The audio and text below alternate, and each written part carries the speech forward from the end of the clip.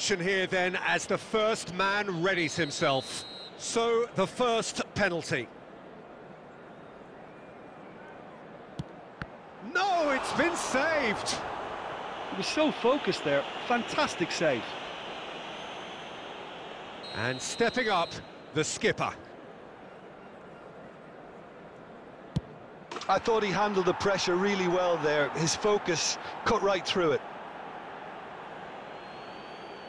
From one behind. Oh, coolly does it. Well, it's never easy to step up and take a penalty, but he slotted that home with authority. Asensio, perhaps the man you would pick for this moment.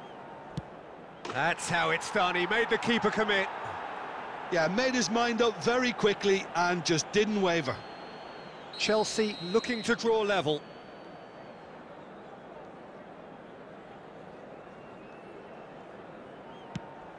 Great stop, keeper's denied him. Well, that's great concentration from the keeper and a wonderful save. Madrid with the chance to go two up.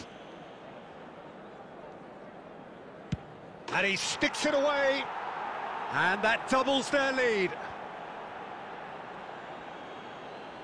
Chelsea have to score or they have had it. Oh, nerveless. I thought he did really well to hold his nerve then and score that penalty. So all eyes on the goalkeeper.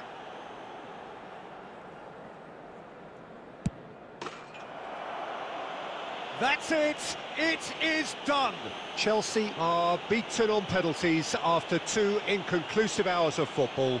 A post-mortem pretty pointless now, it simply hurts.